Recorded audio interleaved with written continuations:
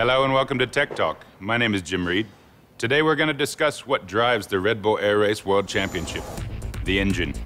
This engine is specially designed for the Red Bull Air Race. Since 2014, these engines have been standardized, which means that teams are not allowed to modify or tune the engine in any way. The engines are standardized for two reasons. The first reason is to ensure that all the race teams have the same horsepower. This makes sure that the battle for the Air Race Championship is fair and exciting. The second and even more important reason is safety. Having a non-modified engine is more reliable than a modified engine, and when you're flying at 200 knots, 20 meters above the ground, reliability is a very good friend to have. Masterclass race engines are horizontally opposed, six cylinders that are air-cooled. These engines produce about 320 horsepower at 2,950 RPM. Once on the track, these engines run at full throttle throughout.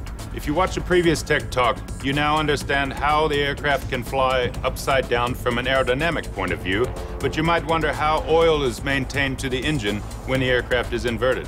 The Lycoming Thunderbolt AEIO 540-EXP is an aerobatic engine. These engines are fitted with a Christen inverted oil system.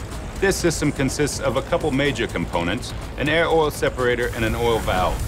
Both of these components have weighted valves inside so that gravity affects them when the aircraft turns inverted and they ensure that oil supply is maintained to the engine in any aircraft attitude.